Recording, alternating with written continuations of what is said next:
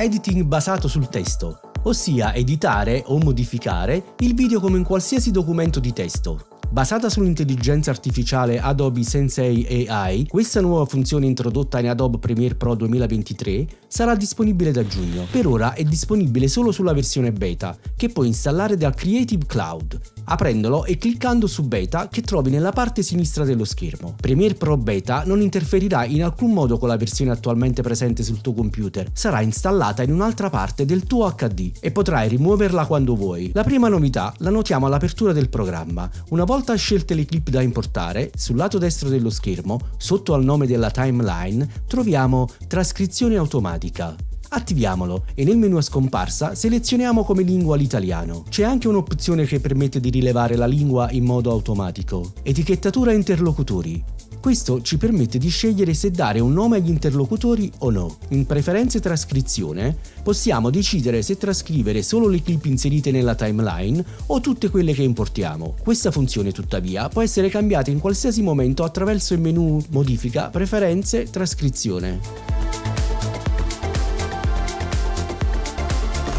Premiere ha creato una nuova sequenza e ha impiegato 5 minuti e 7 secondi per trascrivere una clip della durata di 25 minuti e 10 secondi. Il nuovo spazio di lavoro Modifica basata sul testo posizionerà sul lato sinistro la finestra contenente il testo del video presente nella timeline, ma anche selezionando una qualsiasi clip nel pannello di progetto, questa sarà automaticamente trascritta. Infatti questa ti si aprirà nel monitor sorgente e non in quello di programma, che è legato alla timeline. Vediamo alcune opzioni nel pannello trascrizione. Scrivendo una qualsiasi parola nel pannello di ricerca, questa sarà evidenziata e siccome il testo è legato al video, cliccando su di essa, la testina di riproduzione salterà al punto corrispondente nella timeline ti basterà fare doppio clic su di un testo o in alternativa premere invio per apportare delle modifiche. Veniamo al primo metodo per montare il video basandoti sul testo. Cerco la parola ciao, che automaticamente sarà evidenziata per tutte le volte che l'ho ripetuta. Fa parte dell'introduzione al video che sto montando e che ho ripetuto varie volte. In genere la scena buona è sempre l'ultima, quindi seleziono il testo da qui fino all'inizio e guarda che cosa succede. Sì, tagliando il testo qui taglia automaticamente il video. E non finisce qui, questi tre puntini rappresentano le pause, quindi ti basterà selezionarli e premere il tasto apostrofo per cancellare una pausa dal montaggio e contemporaneamente avvicinare la clip successiva. In alternativa puoi farlo cliccando questa icona.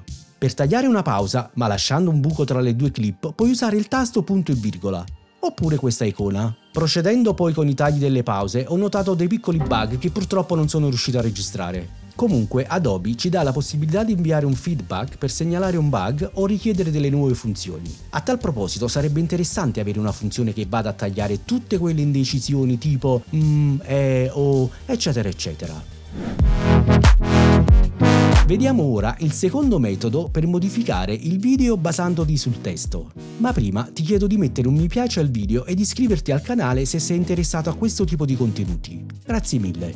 creiamo una nuova sequenza premendo il tasto CTRL più N e poi OK. Selezioniamo la clip che vogliamo inserire e come vedi si accende il monitor sorgente che quindi ci fa capire che stiamo lavorando sulla clip e non sulla timeline. Nel pannello trascrizione cerco la parola Fai attenzione. Evidenziamo la parte che ci interessa e inseriamola nella timeline premendo il tasto punto. Selezioniamo poi una seconda clip e scegliamo il punto che vogliamo inserire come abbiamo fatto precedentemente. Potrai continuare così con tutte le clip che hai, ma attraverso il testo possiamo anche spostare l'ordine delle clip nella timeline, proprio come in un documento di testo. Lo possiamo fare selezionando il testo e premendo CTRL X per tagliarlo e CTRL V per incollarlo in un altro punto. Cliccando su Crea sottotitoli potrai aggiungere sottotitoli al tuo montaggio, sottotitoli che puoi animare come ho fatto io in questo video. Io sono Federico, ti aspetto nel prossimo video quindi e nel frattempo pace!